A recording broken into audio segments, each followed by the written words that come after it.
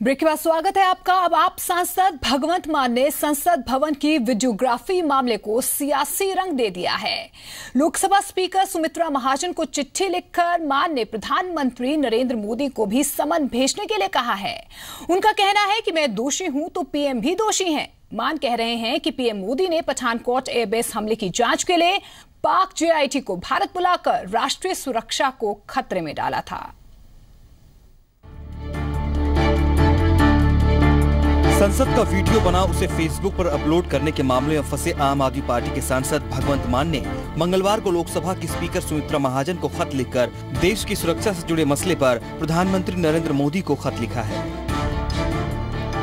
भगवंत मान ने स्पीकर को लिखी चिट्ठी में लिखा है कि अगर उनके संसद का वीडियो बनाए जाने से देश की सुरक्षा खतरे में पड़ सकती है तो फिर पीएम मोदी ने तो उस आईएसआई को पठानकोट एयरबेस में बुलाकर घुमाया, जिसने पठानकोट एयरबेस पर हमला किया था।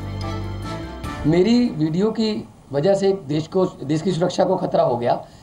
और प्रधानमंत्री जी आईएसआई के ऑफिसर्स को एसी बस में बिठाकर पूरा एयर बेस घुमा रहे हैं पठानकोट का। वो कहीं से भी नक्शा बना सकते हैं। पूरी सुरक्षा के पॉइंट्स हमारे बता दिए गए। और उनके साथ लंच किया जाता है।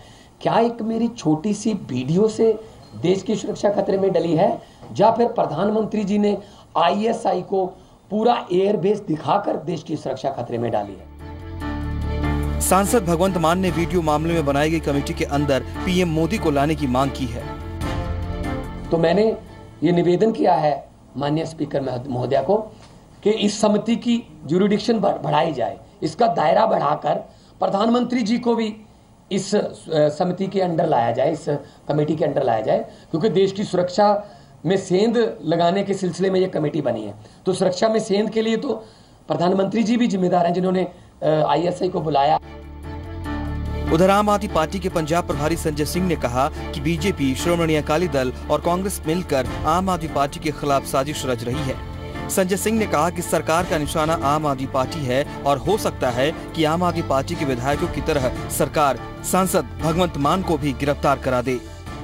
बात की पूरी आशंका है कि भगवंत मान को भी इस पूरे प्रकरण में गिरफ़्तार करने की मोदी सरकार कोशिश कर रही है और उसके साथ कांग्रेस और अकाली दल के लोग मिले हुए हैं। सब मिलके एक आम आदमी पार्टी के खिलाफ अभियान चला रहे हैं। सही समय पर देश की जनता इसका जवाब देगी। आपको जो भी उत्पीड़न की कार्रवाई करना है। गौरतलब है कि भगवंत मान ने संसद का वीडियो बना, उसे फेसबुक पर अपलोड किया था, जिस पर संसद के दोनों सदनों में जमकर हंगामा हुआ। उसके बाद सोमवार को इस मामले में नौ सदस्यों की कमेटी गठित की गई है। Bureau report, Zee Media.